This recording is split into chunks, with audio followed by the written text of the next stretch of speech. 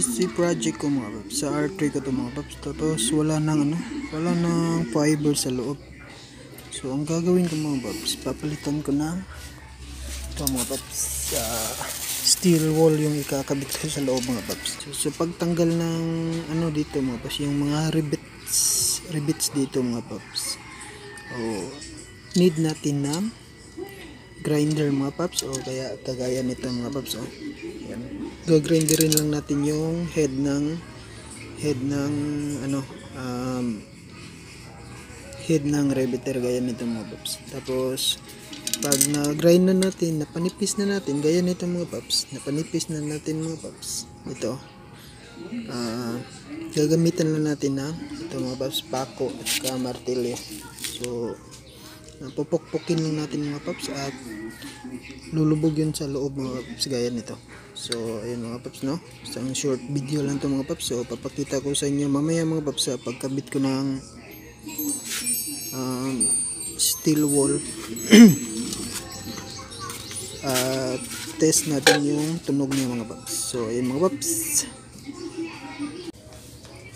So, ito na mga paps. The moment of truth mga paps. So, bubuksan na natin. Wala na tong fiber sa loob mga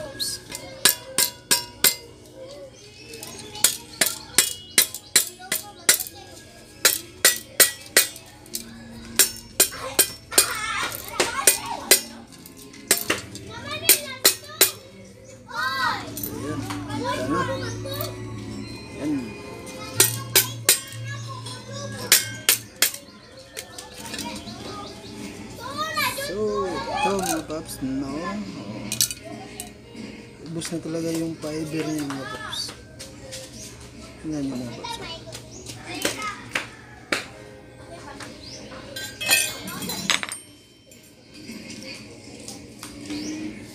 Ubus na yung fiber niya mga paps. Ito na lang yung natira. Tingnan niyo. Ito na lang. Sunog na talaga. Ayan mga paps. Oh. Sunog na talaga mga paps. Kaya ang pangit ng tunog. So, ang lalagay natin mga paps is itong scratch bright. So, pakita ko sa inyo mamaya pa mga paps pagkatapos. So ito mga paps, ah, yung natirang fiber mga paps, nilagay ko sa loob mga paps. Yung pin sa pinakadulo. So, lalagay na natin yung steel wall mga paps, no?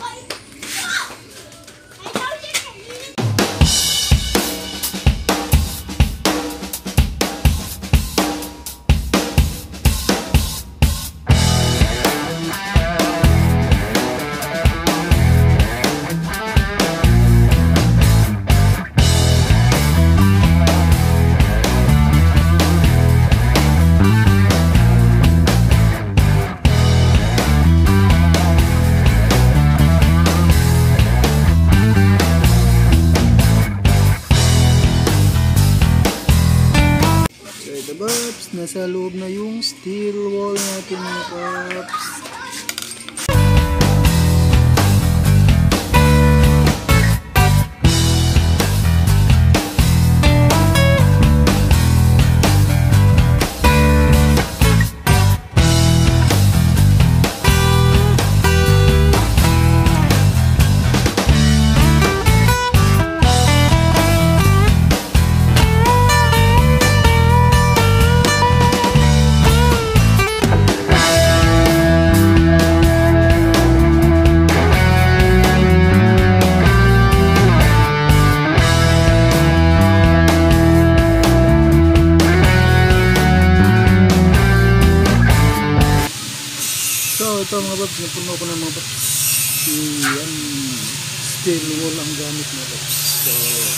Kakabit natin ito sa Yamaha R3 natin mga paps.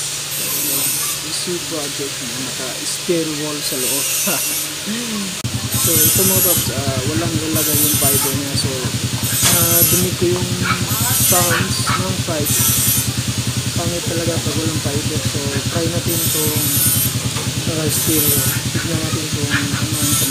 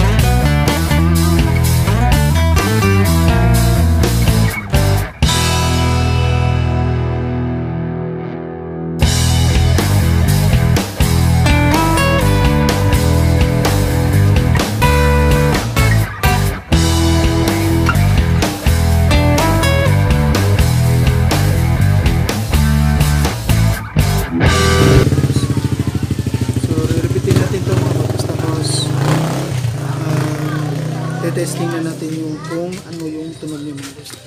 Yung walang fiber ito mga paps. Ang pangit talaga ng tunog mga paps. Parang lata. So, try natin na may ano na, may steel wall na siya. So, ayun mga paps. So, ito mga paps, ah, try na naman natin sa R3 natin mga paps. So, napakapangit talaga nito dati mga paps na. Kasi walang fiber sa loob. Sunog na. So, try natin sa R2 ko mga paps. Cold start to mga paps. So, yun. So, ito na mga paps. The moment of truth mga paps. SA project. Napakapangit talaga ang tunog nito mga paps no.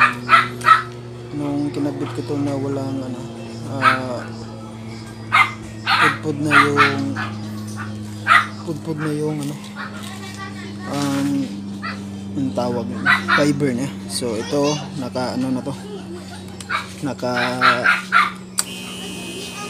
steel wall sa ano sa loob. So try natin.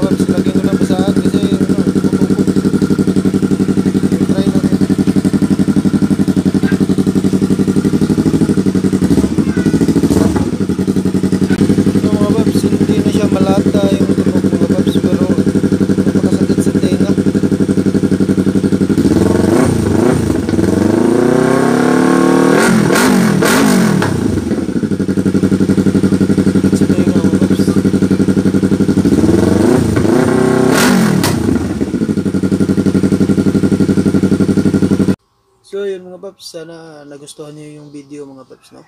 At I suggest mga paps na yung fiber talaga yung gamitin natin na ilagay sa canister ng mga ah, sa canister natin mga paps. Kasi mas maganda yung tunog ah, sa ano eh, sa fiber eh compare sa steel wall. So ayun mga paps, so don't forget don't forget to like and subscribe sa YouTube channel ko mga pap, mga paps and hit the notification bell para lagi kang updated sa mga videos na gagawin ko mga paps. So ayun mga paps, ride safe, keep safe, peace.